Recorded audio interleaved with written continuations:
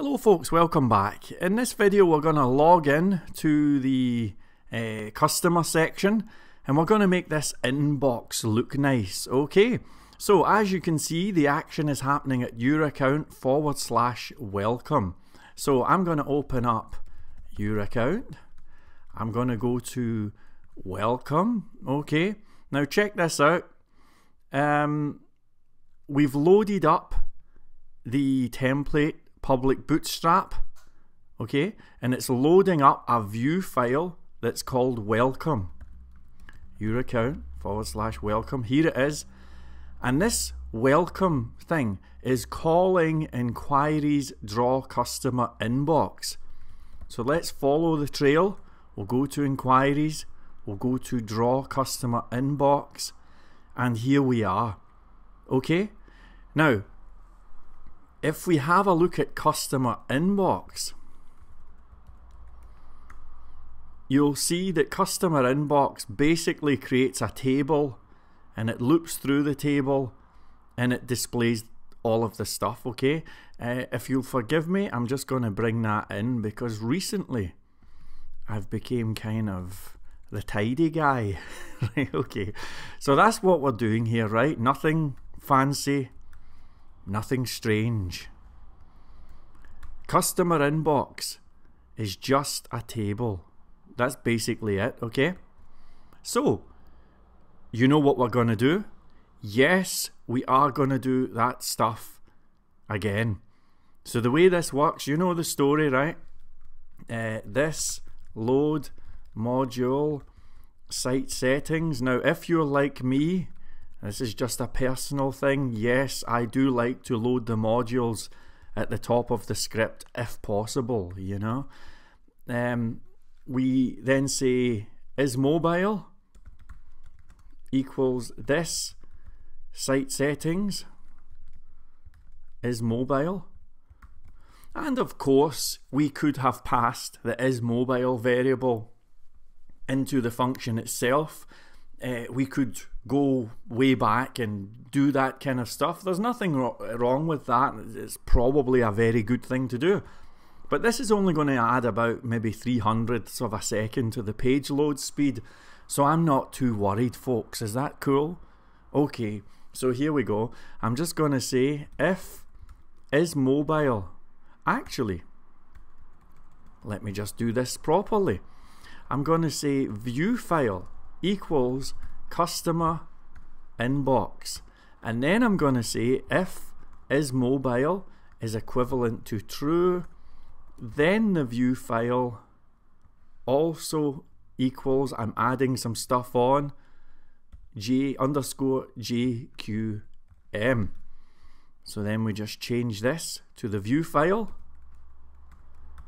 And there we go. So if we hit refresh, what's going to happen? You tell me, come on, I can feel your energy. People don't believe this. I have the power. Yes, it's going to have an error because it's going to try and load up the page. Correctamundo, yes, thank you very much. Congratulations.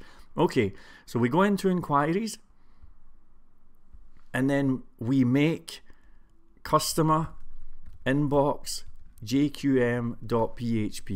That's what we're looking for, and now the error message goes away. Okay? So the next vibe is we just need to get this thing looking nice. Okay? That's basically it. Now, we have a whole bunch of jQuery mobile view files, and some of them look kind of nice. Um, let me just see if there's anything good here. Maybe homepage content jQuery mobile. I think that had some cool stuff. Homepage blocks. Um, what I'm really looking for is that. That's what I'm looking for. I like the little panels and whatnot. This is from thank you underscore underscore jQuery mobile. And um, I'm going to go with that vibe. So I'm going to chuck this in and I'm going to say your inbox. Okay, now it's going to say the form was, oh, who cares? We'll take this out. Okay, okay, we'll take this out. Um, but let's just save and refresh and look at that. Already this is starting to look kind of nice. Now, how you make this page look is your business. You can head on to jQuery Mobile and look around, see if you can find something good. Uh, and who knows? Maybe you will find something good. Uh, you know that that's cool. Maybe you'll find something better than me. But you know, I think in this case, I'm gonna just stick with a good old-fashioned table. You know, why not? So here we go. It's going to be a table, okay? And it's going to have, let me have a think here. How about if we have maybe two table cells here? Okay, so we'll have one that's going to contain an icon. You know what I mean? Like a little envelope or something like that, okay? And the next table cell is going to contain the information, okay?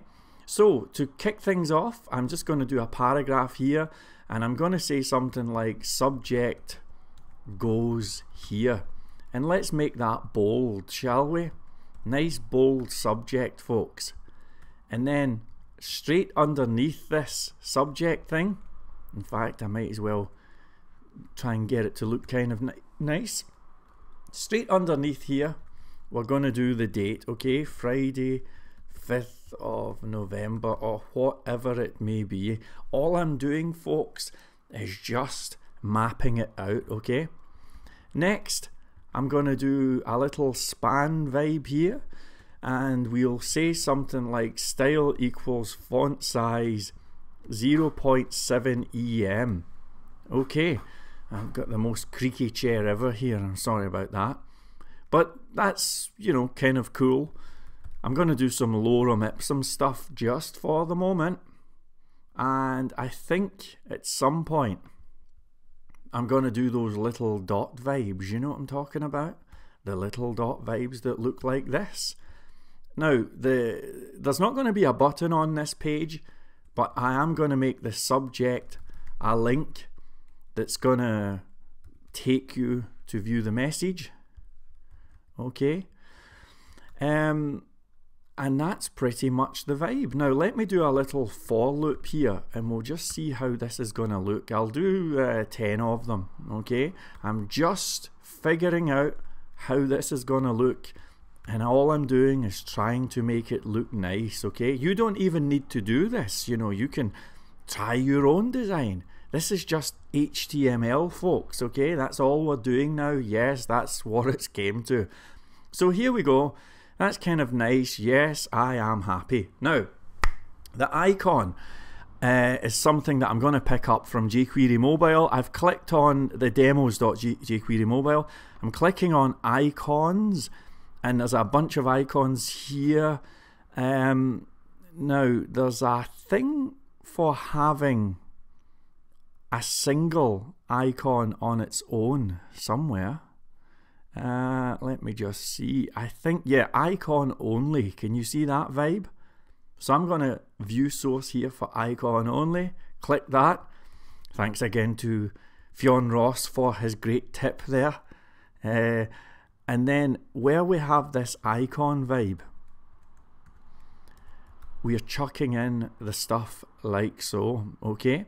Now, this says delete, but you cannot actually see the text. If I save this and then refresh, watch what happens. Do you see how you cannot see the word delete? So we might as well just chuck the word open in here. I don't know, maybe there's like a, a blind guy or something and he'll find this handy. I'm not joking, by the way, I'm being quite serious. Why not? You know, chuck the word open in, right?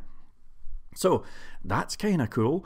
In terms of the icon itself, well, I'm not going to have a delete icon. I'm going to have the mail icon here. Okay, so I'm going to refresh the screen. It's going to look like that. And I think um, the final touches I'm going to do are with this table cell here that's got all of the main content. I'm going to say style equals padding left 20 pixels. Let's just save and refresh. That looks pretty good, yeah, that's pretty good. And I think I'll do that again actually. Padding bottom 20 pixels. Save and refresh. And look at that, already you can see that we have the beginnings of a fantastic, glorious inbox. Now, um, this is probably a good time to talk about the icon changing colour and whatnot. The vibe is in the normal panel, I don't know if you can remember, when something comes in and it's new, we have a little, I think it's an orange envelope or something like that. So I'm going to do a similar vibe here. And when something comes in and it's unread, well, um, what I'm going to do is head up to this icon here and I'm going to say style equals uh, and by the way just so you know if I'd say something like color red for example and do refresh nothing happens. The icons with jQuery mobile are a little bit well not tricky but they just have to be handled in a slightly different way. So the way that you want to do this, folks, is you want to say background color and we're going to go with gold, okay? And this is going to look fantastic. If we hit refresh, look at that. It is fantasticola. Now, here comes a statement that will be shocking because actually that is the end of the course. Congratulations. And why not? You know, why not? Because all that's really coming in from here onwards is me going through these jQuery mobile pages and making them look nice. Now we could go into the PHP and you know how to do this, right? I mean, come on, you know this stuff, right? Customer inbox. We could grab the PHP here, this stuff here, copy, we can paste in here, we can do all of that stuff. And I'm going to tell you something, you will learn nothing. I have confidence in you. I believe in your abilities. You've came this far. So that is indeed the end of the training because really there's no point, you know, all that would remain would be about maybe 15 videos of me swapping HTML code, you know, and that's that. So this is the end of the training, and thank you so much for following along. I really appreciate that. Um, I'm going to do one more video because it's not going to have any code in it actually, but I think that there's people who will look at video one and they'll see, you know, over a hundred videos and they'll say, man, is this really worth it? and they're probably going to look at the finished video to see what they, they get at the end of the thing. So I'm going to do one more video, but it's not going to have any more code. There's no more PHP, there's nothing. It's basically just going to be me giving a little demonstration of this shop to people who might be looking, you know, at the first video. Maybe they're thinking about this. But also, I want to say a few words about CodeIgniter itself um, and who knows, maybe I'll say a few words about the state of the PHP community and how I see things moving forward.